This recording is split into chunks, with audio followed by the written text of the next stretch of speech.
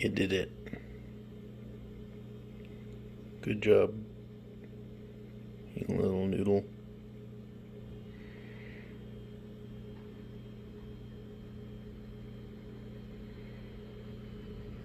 Victory!